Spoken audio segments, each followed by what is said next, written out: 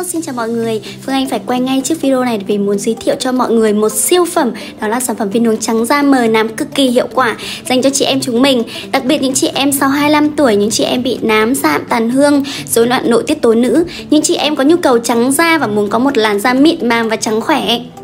Trong sản phẩm có chứa thành phần glutathione nhập khẩu của Nhật Bản với độ tinh khiết gần như là tuyệt đối. Và chắc hẳn các bạn đều biết đấy, glutathione là một trong những thành phần trắng da vô cùng hiệu quả và nổi tiếng hiện nay.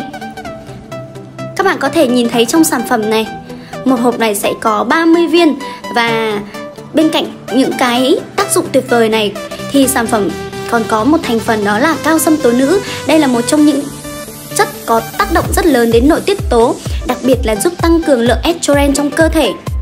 Theo những nghiên cứu thì lượng estrogen trong cao sâm tố nữ sẽ cao hơn rất nhiều lần với mầm đậu lành.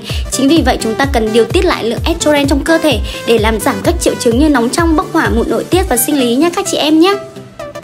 Và mỗi một ngày chúng ta chỉ cần sử dụng 1 đến 2 viên 30 phút sau mỗi bữa ăn sẽ giúp cho chúng ta có được một vóc dáng và làn da thật là tuyệt vời.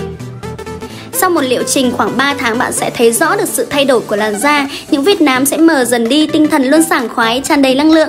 Không chỉ làn da và cơ thể cũng như được tưới mát và nuôi dưỡng vậy. Sản phẩm này thì vô cùng an toàn, đã được kiểm định chặt chẽ bởi Cục An toàn Thực phẩm.